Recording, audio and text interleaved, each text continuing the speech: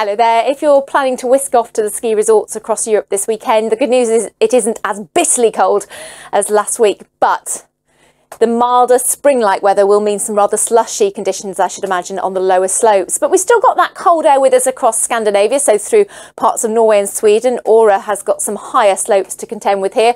Not been doing too badly across the Scottish resorts, but it doesn't look great weather for skiing this weekend as we've got weather fronts pushing northwards on strong winds. In fact, that's tied in with a deep area of low pressure in the Bay of Biscay. So it looks unsettled across the Spanish resorts into the Pyrenees and the Alps on and off through this weekend. Yes, more snow, mostly over the higher levels, but with the higher temperatures could well enhance the avalanche risk. So some inclement weather if you're wanting to ski this weekend, although at the moment Soldeu, as you can see, is doing pretty well despite the gripping snow, which is probably to do with the higher temperatures.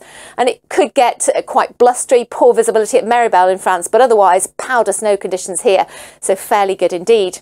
Across the other side of the Atlantic, we've had a northeaster bringing well, inundating amounts of snow actually across parts of the east of Canada, northeast states as well. So topping up the slopes here. They've become a little spring-like though further north across the Canadian Rockies. So hopefully a little bit more snow, but you notice there further south across California, we could see some of the snow for the resorts here. Good news, of course, and that will top up the slopes. For Whistler, remember we've still got the glacier, so even though there isn't a great deal around new snow, and old snow. We've got the glacier to ski on. For Killington, hopefully topping up with the northeaster, but not great weather for skiing because of the reduced visibility and the wind. Fortunately, we're losing the winds and the cloud and the rain and snow across Japan, but across southern resorts, it is definitely getting spring-like. The further north you are, for example, the greater chance of seeing some good snow, despite it being a little gripping at times.